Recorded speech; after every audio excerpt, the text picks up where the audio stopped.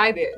एक बहुत मस्त ट्रिक है to remember different di carboxylic acids what is a trick it's very simple OMS GAP O M S G A P now this will help you remember the structures also आप इस तरीके से imagine करिए कि आपके पास C O O H C O O H terminals पे है और बीच में है C H two and I am putting n in the subscript so this n can vary so when we have oxalic acid this n is equal to zero When we have M, which stands for malonic acid, N is equal to 1.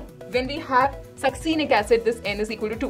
When we have glutaric acid, N is equal to 3. When we have adipic acid, N is equal to 4. And when we have pimelic acid, N is equal to 5.